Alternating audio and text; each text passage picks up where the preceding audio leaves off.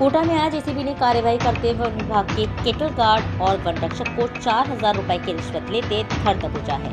ACB ने चंबल घड़ियाल अभ्यारण्य क्षेत्र में धड़ल्ले से चल रहे अवैध बजरी खनन का भंडाफोड़ किया है और घटकाना वन चौकी पर तैनात कैटल गार्ड दिनेश सिंह और वन रक्षक मुकेश चंद को गिरफ़्तार किया है। कोटा एसीबी की एएसपी ठाकुर चंद्रशील के निर्देशन में पूरी कार्रवाई को अंजाम दिया गया। ठाकुर चंद्रशील के मुताबिक दोनों वन कर्मियों की ज़िम्मेदारी अवैध खनन की रोकथाम की थी, लेकिन ये दोनों ही पाँच हज़ार रूपए प्रति ट्रैक्टर ट्रॉली लेकर अवैध खनन को बढ़ावा दे रहे थे। नीरज मीणा नाम के परिवादी ने एसीबी में शिकायत की थी, जिसकी एसीबी ने घूसखोरों के खिलाफ चाल बिछाया।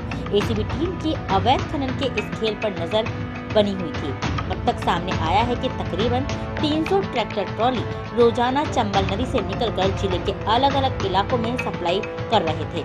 इसमें वन विभाग के साथ दूसरे महकमे भी चांदी कूट रहे हैं।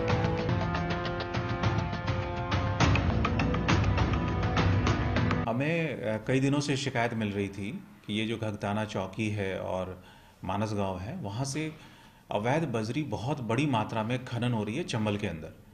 और जो घड़ियाल क्षेत्र के अधिकारी, कर्मचारी हैं, उनकी मिलीभगत से नावों में लद कर खनन की हुई बजरी सैकड़ों ट्रैक्टरों में लद लद के वहाँ से निकल रही है और सड़क मार्ग से अवैध रूप से इनका परिवहन हो रहा है।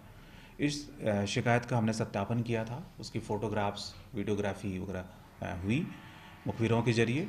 और जब हमने सही पाया तो फिर हमारे एक परिवादी जो उस एरिया के हमारे पास आए, परिवादी ने नगताना चौकी के दो स्टाफ को, जो एक फॉरेस्ट गार्ड है, मुकेश और एक दिनेश, इन दोनों को चार हज़ार रुपये लेते हुए आज ट्रैप किया है।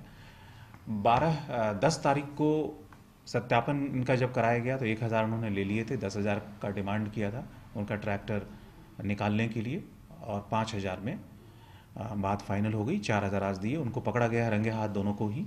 इसमें बड़ी बात है कि ये इस क्षेत्र से सैकड़ों जो ट्रैक्टर परिवहन हो रहा है, इसमें जो हमें शिकायत थी, यही थी कि जो वहाँ पे जो फॉरेस्ट की चौकी लगी हुई है अभ्यारण्य, चंबल, घड़ियाल अभ्यारण्य की, उनकी मिलीभगत से ये हो रहा है तो वो हमें, हमने प्रमाणित किया है और वो उनको पकड़ा गया है।